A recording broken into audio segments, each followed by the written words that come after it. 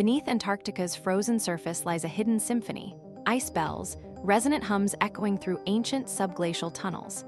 As meltwater drips from ceiling to floor, it strikes hollow cavities carved over millennia, creating pure, ringing tones like glass chimes in a frozen cathedral. These aren't random sounds, they're standing waves, amplified by the ice's perfect acoustics, vibrating at frequencies too low for human ears until now. Scientists placed ultra-sensitive microphones deep in the ice and captured these eerie, haunting melodies. Some as low as one hertz felt more than heard. The shape of each cavity, sculpted by pressure and melt, determines its pitch, turning the glacier into a natural musical instrument. As climate change accelerates melting, these ice bells may grow louder or vanish forever. What we hear is Earth's cry, beautiful, fragile, and fading. Listen closely. This might be the last time nature sings this song. Don't forget to subscribe for more amazing science content.